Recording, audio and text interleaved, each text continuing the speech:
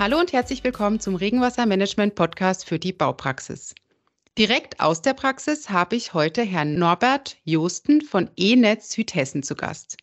Herr Josten ist Abteilungsleiter für Baulandentwicklung und er schließt zusammen mit seinem Team unter anderem auch klimaneutrale Baugebiete oder klimaresiliente Gebiete. Ich freue mich auf meinen Gast und wünsche Ihnen viel Spaß bei dieser Folge.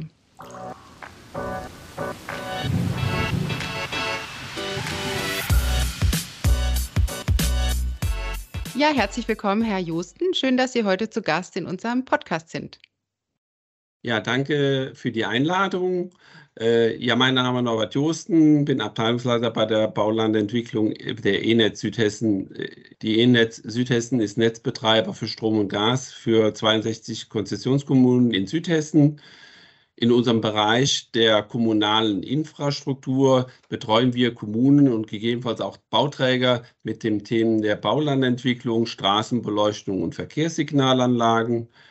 Hierbei wollen wir die Region Südhessen mit unserem umfassenden Leistungsportfolio nicht nur mit sicheren Netzen zukunftsfähig machen, eben auch erneuerbare Energien, Wärmeversorgung, klimaneutrale und klimaresiliente Baulandentwicklung anbieten und dies alles aus einer Hand.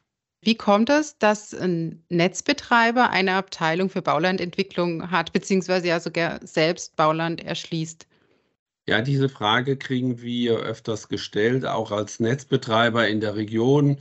Aber als Infrastrukturdienstleister äh, investieren wir ja jährlich mehr als 30 Millionen in den Bereich Tiefbau und betreiben, sanieren und modernisieren die energetischen Netze der E-Netz Südhessen.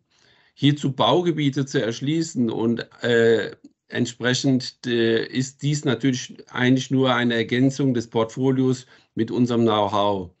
Einerseits äh, möchten wir natürlich die Strukturen der Netze und äh, öffentliche Infrastruktur mit der Baulandentwicklung verbessern.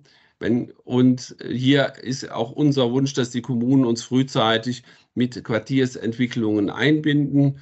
Andererseits ist die Frage, wird ja auch immer die Frage gestellt, warum macht die E-Netz diese städtebauliche Betreuung? Aber es ist eben auch das Thema, wir investieren als Netzbetreiber in neue Netze und können unsere Investitionen in die neuen Netze nur refinanzieren, wenn die gebauten Netze auch genutzt werden. Das heißt, auch wenn aus städtebaulicher Sicht eine schnelle Verdichtung dieser Ortsteile oder neuen Quartiere entsteht. Und was ist jetzt speziell Ihre Aufgabe als Abteilungsleiter? Als Abteilungsleiter in, für die Baulandentwicklung in der Innetz Südhessen versuchen wir entsprechend die Themen der äh, Bodenordnung, der Bauleitplanung und auch der, der Erschließung sowie der Vermarktung und Finanzierung aus einer Hand anzubieten, entsprechend, damit äh, diese Themen auch äh, mit, den, äh, mit den Netzen verknüpft werden kann. Was sind so die Anforderungen, die jetzt speziell von Seiten der Kommunen kommen an Sie? Wir sind natürlich mit der Region eng verwurzelt, begleiten seit über 100 Jahren die Kommunen mit unserem Portfolio. Diese Kenntnisse und Erfahrungen sind auch eine wertvolle Basis, um vorausschauend neue nachhaltige Lösungen mit den Kommunen zu entwickeln. Einerseits sorgen wir dafür, dass wir eine dauerhaft äh, zuverlässige Versorgung für den Menschen in Stadt und Land äh, anbieten und können aber auch nachhaltige Lösungen mit den Kommunen bezahlbar in die Planungen einbinden. Neben den wirtschaftlichen, ökologischen und sozialen Aspekten einer Baulandentwicklung, die von Seiten einer Kommune immer beachtet werden müssen, werden wir jetzt aktuell mit den energetisch klimaneutralen und klimaresilienten Themen immer mehr eingebunden. Mhm. Und dies bieten wir mit unserem Produkt Bauland komplett an. Das beinhaltet Bauland komplett? Bauland komplett beinhaltet äh, einerseits die Baulandentwicklung in ihren der klassischen Baulandentwicklung mit den Themen Bauleitplanung, Bodenordnung, Erschließung und Vermarktung mit deren Finanzierung, aber auch die Themen die wir eben auch schon genannt haben, klimaneutral, klimaresiliente Themen, das Thema Veränderung der Arbeitswelt, Veränderung der Siedlungsstrukturen, wie verändert sich auch die Bevölkerungsstruktur, was muss sich entsprechend in Neubaugebiete oder in, in Entwicklungen entsprechend verändern, dass wir auch dann eben auch aus dieser Sicht diese Themen äh, für die Kommune zur Verfügung stellen. Das war jetzt sehr allgemein. Ähm, mhm. Was sind jetzt speziell die Anforderungen von Seiten der Kommunen zum Thema Regenwassermanagement? Natürlich mit den heißen Sommern und den erhöhten punktuellen Regenwassermengen, die wir in den letzten Jahren immer öfter äh, auftauchen, äh, sind die Themen natürlich, dass wir jetzt ganzheitlich hier das auch in die Baulandentwicklung mit einbinden sollen. Und das ist auch ein Thema, was im Prinzip von den Kommunen auch gefordert wird. Ja, neben den äh, aktuellen Forderungen, das Regenwasser und nicht nur gutes Trinkwasser auf den Grundstücken zu nutzen, äh, sind folgende Themen aus unserer Sicht zu beachten. Gehen wir erstmal, erstens mal damit aus, die Versickerung äh, des, des äh, Regenwassers zur Verbesserung des Wasserhaushaltes, das Thema Grundwassersicherung, das zweite Thema die gesteuerte Speicherung des Regenwassers auf den Grundstücken und in, im Nahbereich für die Pflanzenwelt. Thema ist ja aktuell äh, sehr bekannt, das Thema Schwammstadt. Das dritte ist natürlich auch das Thema die erhöhte Verdunstung des Regenwassers im Gebiet oder in, im Nahbereich um auch das örtliche Klima zu verbessern, inwieweit hier auch dann Abkühlungseffekte oder entsprechende andere Themen auch eingebunden werden können. Was ist entsprechend hier weiter zu betrachten? Daher äh, müssen wir dann eben schauen, wie dann entsprechende Versickerung von Oberflächenwasser auf den Grundstücken möglich ist. Wenn diese nicht geeignet sind, müssen entsprechende andere Maßnahmen durchgeführt werden. Wir sind natürlich grundsätzlich gesetzlich verpflichtet, äh, Trennsysteme für die Entwässerung von Baugebieten äh, einzubinden, da ja an sich äh, das Thema der Kanal oder der im Prinzip die Kläranlage soll das Oberflächenwasser nicht mehr aufnehmen. Es soll in den Gebieten im Prinzip genutzt, versickert oder auch verdunstet werden. Alles, was im Prinzip mit dem Oberflächenwasser zusammenhängt. In diesem Zusammenhang soll natürlich auch sauberes Oberflächenwasser mit dem Trennsystem gesteuert an einen Vorfluter abgeleitet werden, wenn es nicht vor Ort genutzt werden kann, damit auch die Verdunstung und Versickerung des Oberflächenwassers in der Region weiter erhalten und gesteigert werden kann. Das hat gesteuert heißt in diesem Zusammenhang aber auch Retentionsräume vor Ort einzubauen, damit in einem längeren Zeitraum das Regenwasser zur Verfügung steht oder beziehungsweise langsam nur an Vorfluter abgeleitet wird, damit auch Überschwemmungen oder Hochwasserereignisse vermieden werden. Okay, sehr, sehr interessant. Ähm, und wo sehen Sie die Entwicklung hingehen? Also das sind ja jetzt schon die Anforderungen, die Sie jetzt genannt haben. Wo geht die Reise hin? Also gibt es Anforderungen, die Sie jetzt schon absehen können, die kommen werden in Zukunft, die vermehrt kommen werden?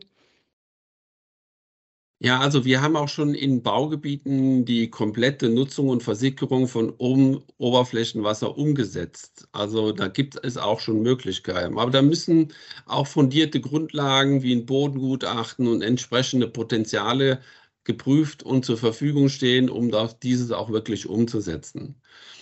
In unserer Region finden Sie neben geeigneten Sandböden, ne, aber auch oft Lehmböden oder im Odenwald auch Felsuntergründe, welche eine Versickerung schwierig macht. Mhm.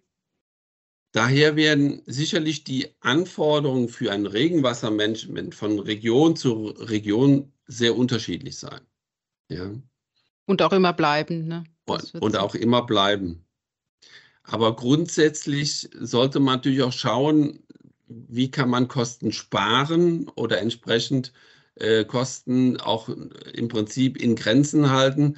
Da ist natürlich auch immer mehr die Diskussion zu ober, wieder oberflächennahen Entwässerungssystemen, dass man die auch frühzeitig einplant. Beispielsweise natürlich Regenwasser von befestigten Flächen, wie gegebenenfalls auch über Filtermaßnahmen offen in einen Teich für die Versickerung und Verdunstung vorzuhalten, ist natürlich da auch eine gute Speichermöglichkeit. Das erhöht einerseits das Potenzial für die Flora und Fauna, kann einem Gebiet aber auch eine gewisse Lebensqualität bieten. Was man aber beachten muss, ist, dazu braucht man natürlich wieder einen, hat man natürlich wieder einen etwas erhöhten Flächenbedarf in, der, in den Planungen. Und natürlich äh, für die Kommunen gibt es gewisse rechtliche Auflagen für offene Gewässer, die oft eine Nutzung verhindert. Hm. Dann vielleicht noch eine äh, Frage, wo, was haben Regenwassermanagementsysteme mit Netzsystemen gemeinsam? Also Regenwassermanagement bedeutet natürlich auch äh, irgendwo äh, die Möglichkeit, wenn, wenn Flüsse im Prinzip jetzt äh, Wasserflüsse entstehen, die nicht mehr normal sind, also übermäßig sind, dass ich irgendwo auch schaue, dass ich eben dieses Wasser irgendwo hinführe. Ja, dass ich eben, wenn ich jetzt im Prinzip, ich habe einen Bedarf oder ich habe eine Menge und diese Menge muss irgendwo ja auch äh, hingeführt werden. Und entweder muss ich das speichern oder eben entsprechende äh, Regelungen schaffen, damit das Wasser gesteuert eben auch nicht schädigend für die, für die, die Siedlung entsprechend dann abgeleitet werden kann. Ja, also ich meine, wir gehen von dem normalerweise von dem fünf- oder zehnjährigen Regenereignis aus, was normalerweise in, der, in den Planungen ja auch geregelt wird beim Regenwassermanagement und äh, was ja auch dann auch die Gebiete aufnehmen können. Aber diesen, dieser 100-jährige Regenereignis ist ja auch da entsprechend äh, im Prinzip äh, planerisch sehr schwer oder finanziell kaum umsetzbar. Ja. Mhm. Also das ist, das würde auch die, die Kosten wieder deutlich nach oben treiben, was man an Vorsorge treiben muss, um ein 100-jähriges Regenereignis dann auch äh, im Prinzip äh, dann auch, äh, dass die, die Kommune dann also auch ohne Schaden davonkommt. Das mhm. wird es wahrscheinlich, kann man gar nicht bezahlen. Ja. Es gibt Städte, da, da weiß ich, da gibt es äh, entsprechende Regenmassen, die dann auch umgeleitet werden. Und diese Regenmassen, hat man früher eben gesagt, äh, passiert vielleicht einmal im Jahr jetzt eben durch diese Starkregenereignisse, die Veränderungen, durch die globale Veränderung, gibt es eben das schon öfters als einmal im Jahr teilweise, mhm. dass mhm. eben Regenereignisse da sind, die eben nicht mehr nur einmal im Jahr sind, sondern öfters als einmal im Jahr und dadurch eben diese Anlagen auch dann wirklich sinnvoll sind. Und das ist eben die Schwierigkeit, jetzt entsprechend das eben in die Städteplanung mit einzubinden. Wie, äh, wie entwickelt sich das und wie sind die Rahmenbedingungen? Man muss ja auch sagen, es gibt ja viele Ortsbereiche, die auch äh, früher im Prinzip äh, eben nicht eine gute Planung hatten. Äh, dann hat man vielleicht auch mal bei dem einen oder anderen Gebiet gespart Mhm. Und das dann jetzt miteinander wieder zu verknüpfen, ist dann entsprechend schwierig. Und wir haben ja noch oft Mischkanalsysteme, wo Oberflächenwasser dann entsprechend auch eingeleitet wird. Aus meiner Sicht eine ganz einfache Basis ist auch, man redet ja immer öfters, die Mischkanal, also die Kanalsysteme müssten ausgewechselt oder erneuert werden. Äh, war äh, und oder vielleicht sogar vergrößert werden aufgrund dieser neuen Thematiken. Aber vielleicht gibt es auch einfachere Lösungen, zum Beispiel, dass man eben im Prinzip dem jedem Haus oder jedem Gebäude sagt, äh, dein Dachflächenwasser kannst du jetzt nicht ungehindert in den Kanal ableiten, sondern du speicherst jetzt erstmal pro Quadratmeter eine gewisse Menge auf deinem Grundstück und nutzt das für dich selber? Mhm. Oder leitet, leist, leitet man nicht mehr in die Kanäle ein? Und schon ist, glaube ich, diese Überforderung der Kanäle oder der alten Kanäle vielleicht auch gar nicht mehr gegeben. Mhm. Aber das sind auch politische Entscheidungen, die geschaffen werden müssen. Ne? Ja. Dass man, da gibt es sicherlich einfache Lösungen, die muss aber auch die Politik annehmen und die Politik auch umsetzen. Ja. Ja, vi vielen Dank, Herr Justen, erstmal für das wirklich sehr interessante Gespräch. Ähm, Dankeschön, dass Sie zu Gast waren bei uns in der ersten Folge in diesem Jahr. Gerne. Gerne wieder. Sehr schön. Und ich wünsche Ihnen alles Gute. Wünsche Ihnen auch, Frau Haller. Schönen Tag noch.